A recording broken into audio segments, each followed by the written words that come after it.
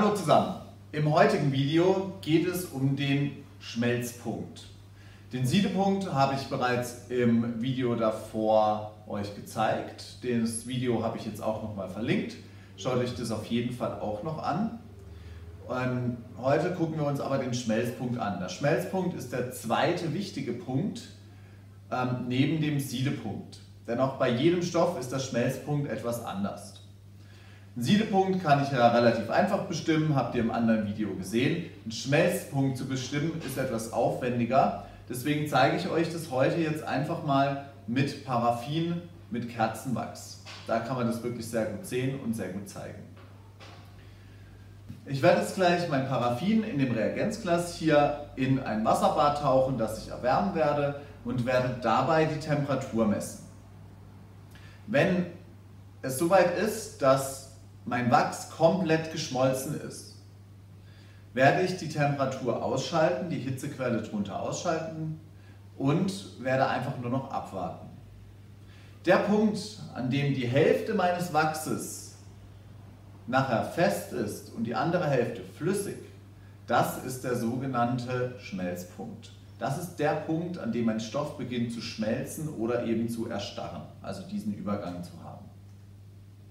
Wie das Ganze aussieht und funktioniert, zeige ich euch jetzt.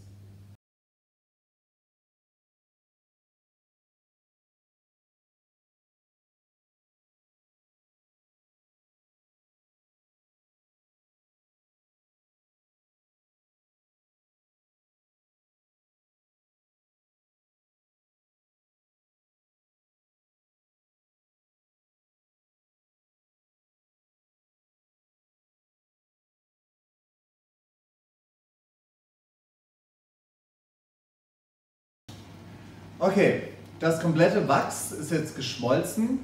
Jetzt kann ich den Gasbrenner ausschalten und warten, bis das Wasserbad runtergekühlt hat, damit ich dann quasi feststellen kann, wo, bei welcher Temperatur halb festes Wachs, halb flüssiges Wachs vorhanden ist. Und das ist dann unser Punkt, unser Schmelzpunkt. Das dauert jetzt wieder ein paar Minuten. Ich lasse es wieder als Zeitraffer laufen, beziehungsweise ich überspringe auch einen Bereich, weil da passiert es nicht so viel, man sieht nicht so viel. Ganz kurz noch, warum habe ich das Ganze in einem Wasserbad gemacht? Das hat verschiedene Gründe. Grund Nummer eins, ich kann das so sehr langsam aufwärmen und habe so ganz klar die Temperatur. Grund Nummer zwei, das ist auch ein Sicherheitsgrund, dass ich das Ganze hier so testen kann. Und Nummer drei, so kann ich den Thermometer in das Wasserbad mit reinstecken und muss den Thermometer nicht in dem Fall das Paraffin mit reinstecken.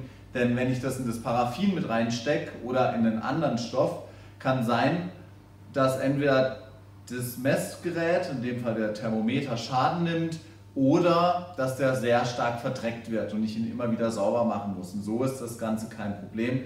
Ähm, so kann ich die Temperatur einfach ganz einfach bestimmen ein Problem gibt es dabei, wir haben eine leichte Ungenauigkeit. Also die Temperatur wird nicht zu 100% genau dem Literaturwert entsprechen. Aber wir werden den ungefähr höchstwahrscheinlich rausfinden.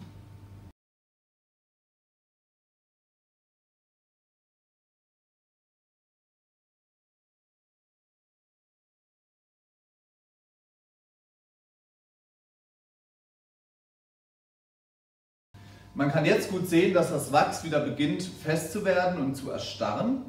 Das heißt, bei dem Punkt gleich, wo ich halbflüssig, halb fest habe, dort ist der Schmelzpunkt oder eben der Punkt, wo es erstarrt, aber man nennt das Ganze eben den Schmelzpunkt.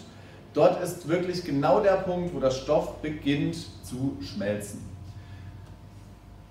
Den haben wir jetzt auch erreicht, wenn wir jetzt genau drauf schauen. Wir liegen jetzt hier bei ja, 51 bis 52 Grad um den Dreh. Ähm, wie gesagt, durch das Glas in dem Reagenzglas könnte es sich natürlich ein bisschen auch verfälschen, aber so im Groben stimmt das Ganze so um 1-2 Grad. Ihr seht, deutlich aufwendiger wie die Siedepunktbestimmung ist die des Schmelzpunktes, aber auch das ist ein wichtiger Punkt, um für einen bestimmten Stoff das eben rauszufinden, um den bestimmen zu können. Könnte ich jetzt auch mit anderen Stoffen machen, aber da der Versuch so aufwendig ist, belasse ich es jetzt mal bei dem Paraffin. Das war jetzt der Versuch zum Thema Schmelzpunkt.